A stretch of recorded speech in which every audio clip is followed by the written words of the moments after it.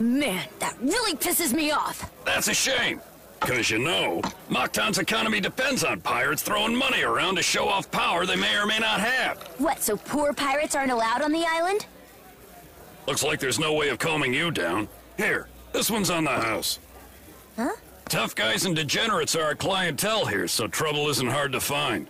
You aren't gonna make it in this town if you let it bother you. You have to play it safe when you can. Here you go.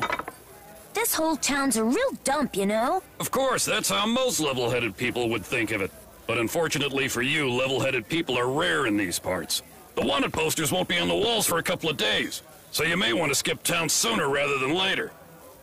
A couple days? That doesn't give us much time. Now here's a question. Hey, Fatso! Huh?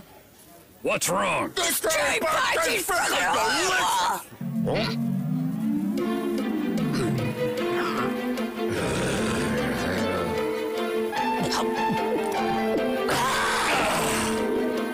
one of the worst drinks I've ever tasted! Huh?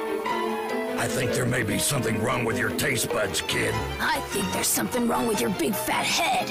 Well, I'm not the cook in this joint, so I don't care what you have to say. Got it? Hey, barkeep! I'll take 50 steaks to go.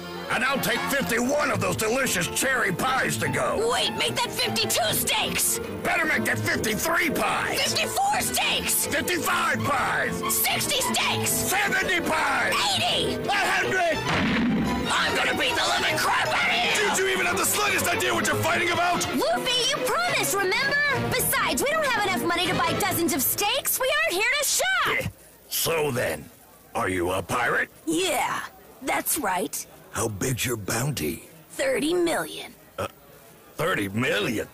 For you? I wouldn't believe it even if I collected Are you it. calling me a liar, you fat hairy ape? Enough! We've got rules in this place, and one of them's no fighting. Here's your 50 cherry pies. Now please, just walk away.